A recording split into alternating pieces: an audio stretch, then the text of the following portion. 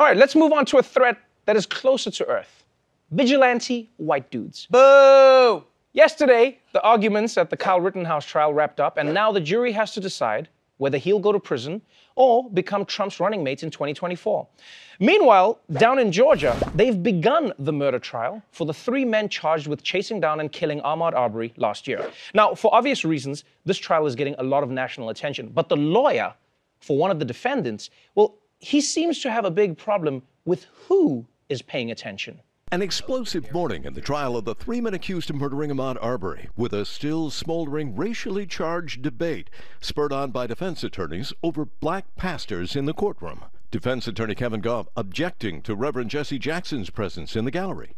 How many pastors does the Arbery family have? Um, we had the Reverend Al Sharpton here earlier, uh, last week. Which pastor is next? Is Raphael Warnock going to make uh, be the next person appearing this afternoon? We don't know. With all due respect, Your Honor, the seats in the public gallery of a courtroom are not like courtside seats at a Lakers game. Hmm.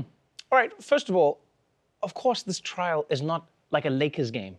Right? The jury has 11 white people and only one black guy. That's basically the opposite of any basketball team. And secondly, I'm not saying that this guy is racist, but when you're representing a guy who killed a black man just for jogging in the wrong neighborhood, it's not a great look to be pointing into the gallery and going, hey, this black guy doesn't belong here. We should do something about that.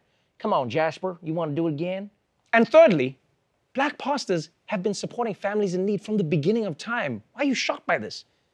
They, they show up for everything, whether it's kids killed in gang violence, whether it's a civil rights issue. It doesn't matter what it is. They'll show up.